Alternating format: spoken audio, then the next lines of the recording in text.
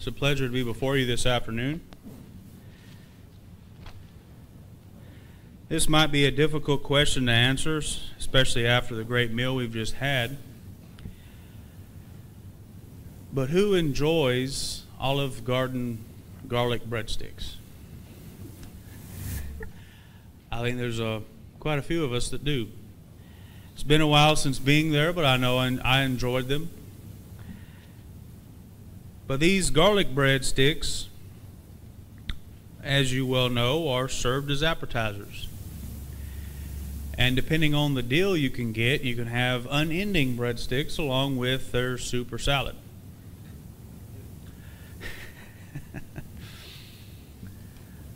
well, at any rate, when you have any appetizer, at the time we're talking, the garlic bread, what purpose does that serve? Well, it gets you filled up on the bread to the point where you probably won't want to eat the entree, at least a lot of it. So they're trying to fill you up with the cheap bread without you spending the money on the more expensive item, which is that delicious entree. Well, depending on how hollow of your leg, that may or may not work. But either way, that's their attempt. So it lessens your capacity for that entree.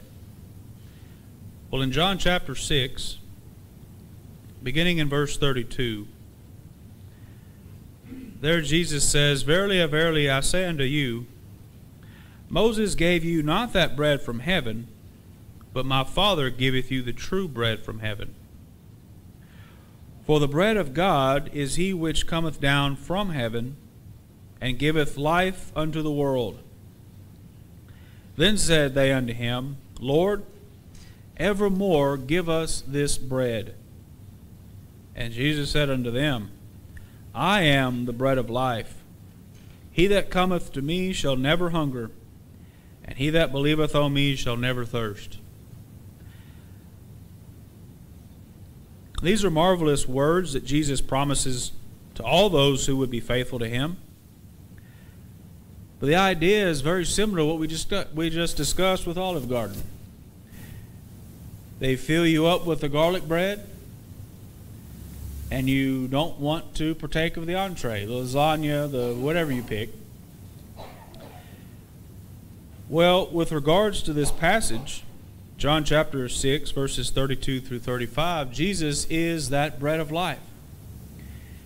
And He has made it so that He is able to sustain us he will take care of all of our needs as that bread of life. Thus, by doing so, our will to do evil lessens.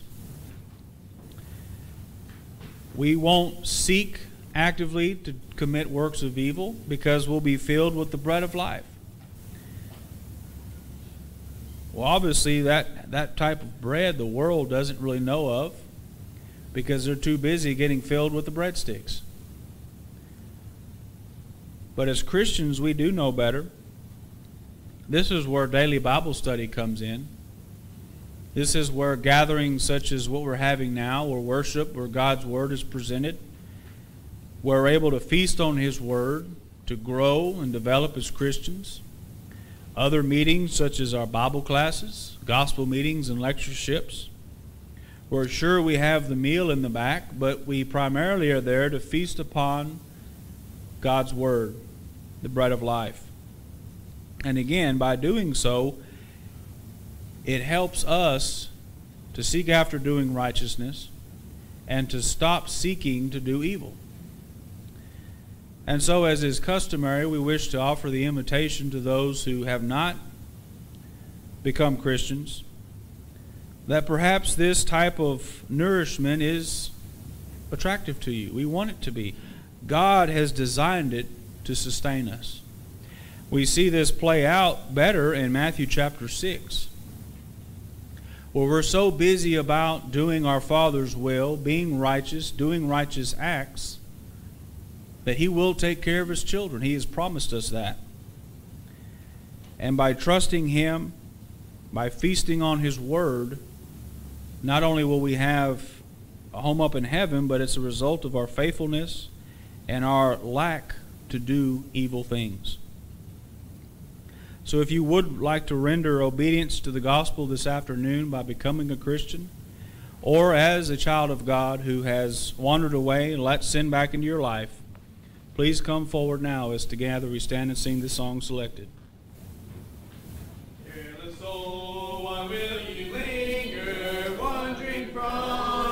Fold of?